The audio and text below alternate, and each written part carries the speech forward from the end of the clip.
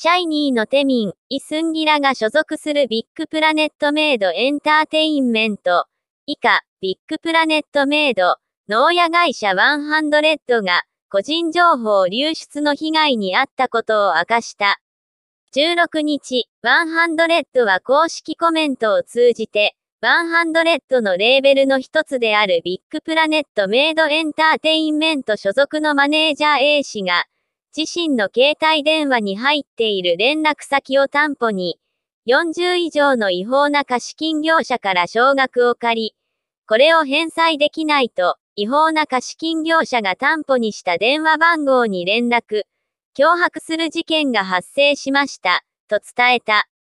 続いて、当社は9月30日、社債業者から初めて連絡を受け、直ちに A 氏の胃がん退職を受け付けました。A 氏個人の金銭問題として事件が一段落することを期待していましたが、本日16日、違法な貸金業者が再び当社に電話をかけ、悪口とともに A 氏の代わりに金銭問題を解決するよう脅迫してきました。これにより当社は、今回の事件が単に社内の問題として解決される事案ではないと判断し、善意の被害者が発生しないことを願う気持ちで、被害をすべて公表することを決めました、といきさつを説明。マネージャー A 氏が貸付業者に流出させた電話番号は約1200件で、この中には所属芸能人から従業員、以前の職場の関係者らが含まれているという。現在、ビッグプラネットメイドにはシャイニーのテミン、イ・スンギ、イ・ムジン、レン、 NU'EST、イ・スグン、 BE'O、Wanna One 出身のハ・ソンウン、 VIVIZ、BADVILLAIN らが所属している。ワンハンドレッドは、違法な貸金業者は、ビッグプラネットメイドエンターテインメントの従業員に脅迫の電話をかけ、メールを送っている状況です。当社は事態の深刻性を重く受け入れ、今日まで脅迫電話をかけてきた違法な貸金業者を警察に通報するとともに、法的対応を準備中です、と伝えた。そして最後に、もう一度、当社で勤務していた従業員によって、個人情報が流出した方々に、深くお詫び申し上げ、当社は事件解決のため最善を尽くします、と謝罪した。 ONE HUNDRED公式コメント全文。こんにちは、 ONE HUNDREDです。 ONE HUNDREDのレーベルの一つである Big Planet Made エンターテインメント所属のマネージャー A 氏が、自身の携帯電話に入っている連絡先を担保に、40以上の違法な貸金業者から少額を借り、これを返済できないと、違法な貸金業者が担保にした電話番号に連絡、脅迫する事件が発生しました。当社は9月30日、社債業者から初めて連絡を受け、直ちに A 氏の胃がん退職を受け付けました。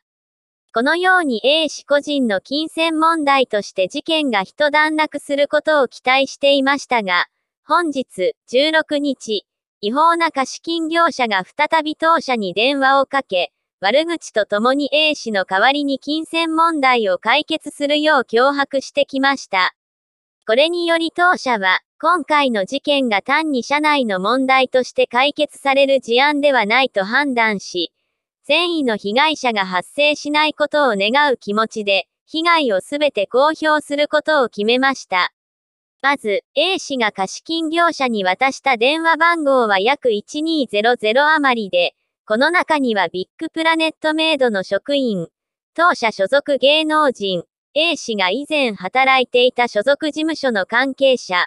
マスコミ関係を含む芸能関係者、他の事務所に所属している芸能人、マネージャーなどが含まれています。違法な貸金業者は、 Big Planet Made エンターテインメントの従業員に脅迫の電話をかけ、メールを送っている状況です。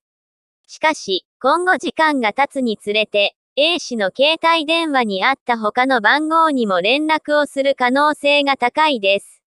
当社は事態の深刻性を重く受け入れ、今日まで脅迫電話をかけてきた違法な貸金業者を警察に通報するとともに、法的対応を準備中です。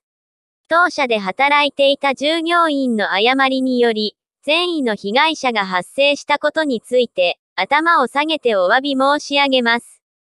当社の従業員は現在、違法な貸金業者の無差別的な電話による脅迫に対する恐怖で正常な業務の遂行が不可能になるほど、被害を受けています。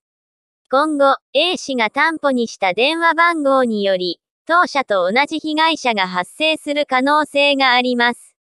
今後、A 氏の貸付金に関連して違法な貸金業者から脅迫の電話やメールを受け取った場合、直ちに警察に通報してください。もう一度、当社で勤務していた従業員によって、個人情報が流出した方々に、深くお詫び申し上げ、当社は事件解決のため最善を尽くします。